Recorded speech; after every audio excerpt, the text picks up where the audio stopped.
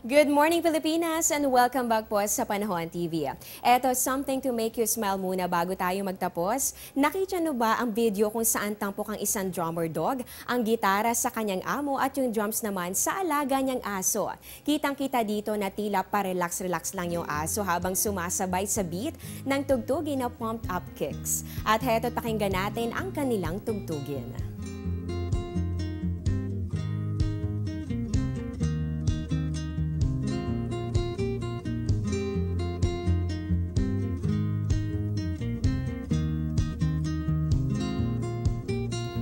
O nakakatuwa no, ang aso hindi lang pala man's best friend, pwede rin maging cute bandmate and co-superstar. Kayo ba, may special talent din ba ang pets nyo?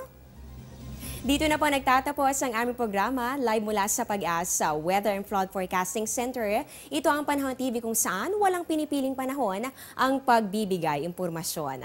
Nakasama niyo po ang inyong weather lover Amor La Rosa na nagsasabing ang taong handa at may nahon kayang lagpasan ang hamon ng panahon. Magandang umaga po sa inyong lahat.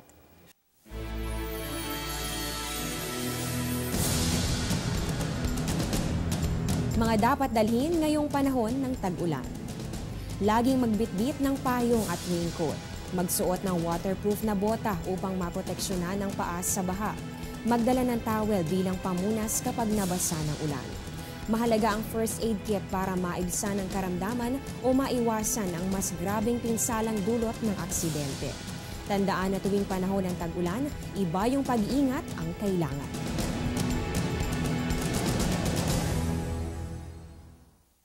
Ang programang ito ay hatid sa inyo ng Air 21. Sagot ko, padala mo.